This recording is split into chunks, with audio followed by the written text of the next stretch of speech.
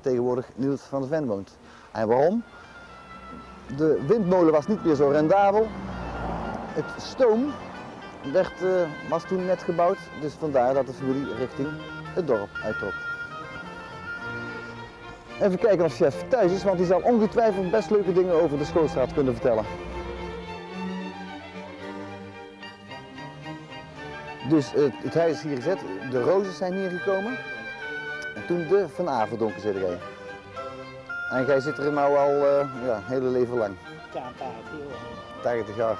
Dan kun je ongetwijfeld uh, een keer vertellen hoe de schoolstraat er vroeger uitzag. Het is tegenwoordig heel erg veranderd. Overal liggen de, de stoepen nog open. Maar hoe zag het er vroeger eigenlijk uit? Kun je dat een klein beetje beschrijven? Ja, er waren kaaien, dat weet ik wel. De, die gelezen zijn, dat weten ze vader en ze Wim wel misschien, want die hebben er op de biest denk die kaaien erop. Dat is het was zaadweg.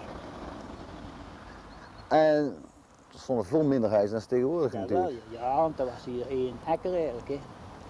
En toen in de oorlog stonden hier 90 tanks op. Die hier ja, van Turp en door, door deze Wim draaiden ze in. En door de kaaien kwamen eruit. Dat weet ik wel. Er stonden hier 90 tanks. Dus de huizen noemen zo van het, viaduct, van het viaduct af tot hier toe die er al lang stonden? Een beetje oude huizen. Hier die twee. Van uh, Witloks? ja, Geertje Willemsman toen.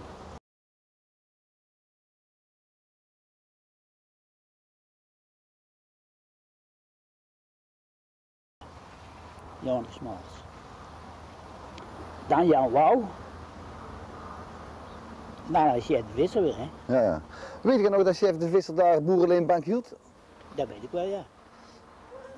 Kun je vertellen hoe dat zo'n beetje in het werk ging? Want dat was geen officieel kantoor, hè? Nee, dat deed eerst chef, uh, chef de Visser of chef uh, van de Wouw, hè? Ja. Nee, ja, zo'n zo ja, zo klein huisje. Toen binnen kwamen links, dat had je dus ongebouwd gehad, geloof zo'n huisje. Ja, het is er nou bovenaan hier, dat weet ik wel.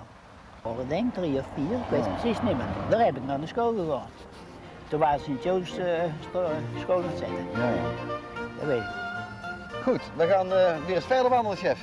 Dat kan. Bedankt voor de medewerking. Ja.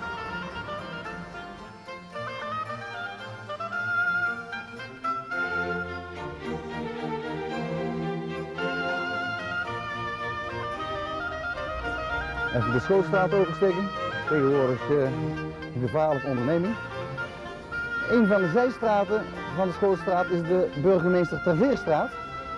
En de burgemeester Terveerstraat ontsluit de Papenakker, Papenakker 2 om precies te zijn. En dat is nou precies een mooi schoolvoorbeeld hoe een nieuw te bouwen woonwijk eruit moet zien. Ruim, luchtig, royaal opgezet. Deze wijk is gebouwd op de grond die oorspronkelijk van de katholieke kerk was, de akker van de papen, Papenakker, dat verklaart de naam. En burgemeester Terveer, die kennen we allemaal. Onze achtste en tevens laatste burgemeester van Moeressel.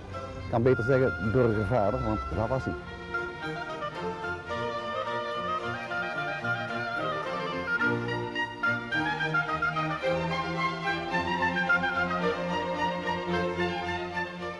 Nou we toch over de Schoolstraat lopen, is het natuurlijk ook wel interessant om even stil te staan bij de naam Schoolstraat. Nou, niet zo verwonderlijk dat die Schoolstraat heet, want een eind verderop, uh, door de Wouwstraat, stond vroeger de oude openbare school. Die is gebouwd in 1887 en hij is weer gesloopt in 1992. Daarvoor heette deze straat de Akkerweg. En die Akkerweg, die naam, is weer overgegaan naar de T31 die begin 80 jaar is aangelegd. In de 17e eeuw heette deze weg de Gemene Weg. En gemeen, dat betekent een beetje als gewoon, dus de gewone weg. En waarom werd die zo genoemd? Een paar honderd meter verderop ligt de Krijtenstraat, hoog en droog ver van Reuzelaf. Dat was een soort ringweg rond Moeressel. Dus de T31 is niet zo'n heel nieuw idee.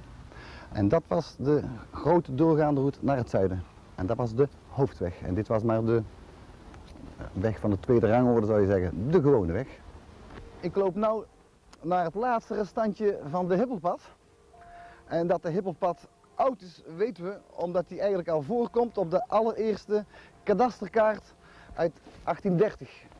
Ook in 1750 is er een melding gemaakt van de Hippelpad, omdat een van de onderwijzers daar een tuin mocht huren aan de Hippelenpad, werd toen gezegd. Maar als het goed is, staat Kees Rozen op ons te wachten. We gaan eens kijken of hij er is. Fijn Kees dat je hier op ons hebt staan te wachten. Jij bent hier eh, vanaf je jeugd wel een beetje bekend van de hippelpad, hè? Ja, eh, vanaf mijn acht jaar ben ik hier terecht gekomen. Nou zijn wij hier een scherpe bocht aan het maken geweest, maar vroeger liep die echt rechtdoor, hè? Ja, liep Die bocht is rechtdoor, nieuw. rechtdoor naar de straat. Ja, ja. Eigenlijk langs, ja, zeg maar langs dit pand af. Maar er was toen een ouder huis, daar woonden Bruurs. En die had hier ja, allemaal kippenkooien, allemaal, dit was dus een open stuk land. Afgemaakt uiteraard met gaas. Nou, daar was dus geen weg. We kwamen dus direct uit bij mijn eh, ouderlijk huis, zeg Ik maar. neem aan dat het allemaal zandpad was. Allemaal zand en smal, Eh, even, heel smal padje. even voor de duidelijkheid, over welke tijd spreekt jij nou? Jij spreekt over jouw jeugd, maar is dat 42. Voor... Ja, het is een mooie 42. tekening. Ja. Soms de heg aan houden, dan, dan, wijs het eens aan. Waar staan we nou? We zijn op dit punt begonnen. We zijn bijna hier bij mijn ouderlijk huis. De omgeving is nou volgebouwd, maar hoe zag je er toen uit? In de Heel- eerste kant eh, de Heel kaal. Eh, in de zomer was het dus best mooi wonen, maar in de winter waren het allemaal ja, kale Ja, ja. zwart ongegroeide akkers. Ja. Maar voor de verder rest was hier eh, ja, toch best goed wonen, rustig. Ja, ja. ja. We zijn ondertussen eh, ja, aan het eind van de echte hippelpad, wat er tenminste nog van over is. En we komen uit bij jouw eh, geboortehuis, hè? Ja, zoals ik al vertelde, was ik ik denk een jaar of acht toen ik hier het eh, rechten kwam. En dat was in de jaren 42, hè, dat was in de oorlog. Kun jij beschrijven hoe toen de omgeving er een beetje uitzag hier? Nou, dit was dus een heel smal pad van de Korenstraat af. En hier rechts waar we nou staan, dat was dus een, ja, een grote akker eigenlijk. Kees, Ja. wij gaan de schoolstraat doorlopen en dan zie je bij de Bokkenhoek zien we terug. Oké. Maar dan zou we op de volgende uitzending worden.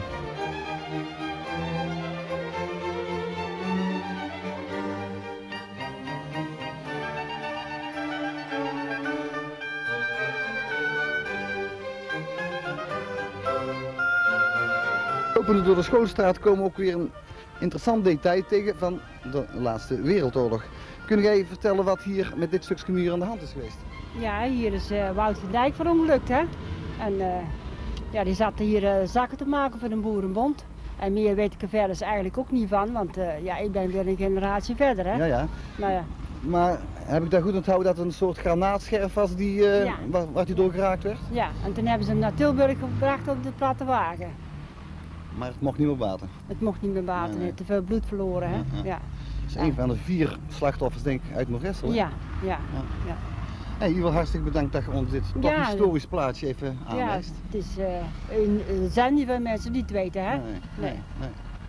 Hey, hartstikke bedankt. Ja. Hier op de achtergrond heeft ook zo zijn eigen verhaal, want het heeft een redelijk belangrijke rol gespeeld in de Moeresselse bankgeschiedenis. We gaan even terug naar het Stokske, want daar begon het allemaal. De familie Ketelaars woonde de boerderij aan het Stokske en die leende dat geld uit aan buren. Dat liep een klein beetje uit de hand. Ze gingen kantoor houden in de Postelstraat. Ook daar groeiden ze uit haar jasje. En ze zijn toen naar dit huis vertrokken. Chef de Visser is daar kassier geworden. En in 1912 is de officiële Moeresselse Boerleebank daar opgericht. Een van de zijstraten van de Schoolstraat is de Scheerman. Vroeger heette het Achterbosstraatje.